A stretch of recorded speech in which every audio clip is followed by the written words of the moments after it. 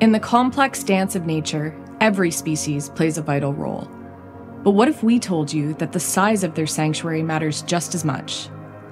It's not about protection, it's about providing room to grow, to thrive, and to flourish.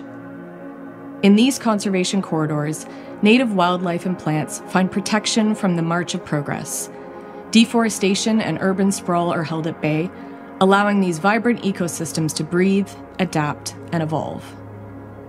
To support wilderness restoration, our goal is to protect areas that help these vital conservation corridors in the Long Point watershed. Meet the Louisiana water thrush, a threatened species that calls the heart of nature its home. Attracted to lush forests, cool streams, and bubbling waterfalls, it embodies the spirit of wild places. These remarkable creatures find their homes in the steep, sloped ravines of riparian forests.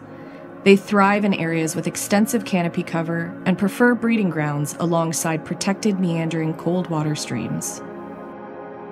Conservation corridors create a sanctuary for unique species like the Louisiana water thrush. Help us to create more corridors so nature can thrive.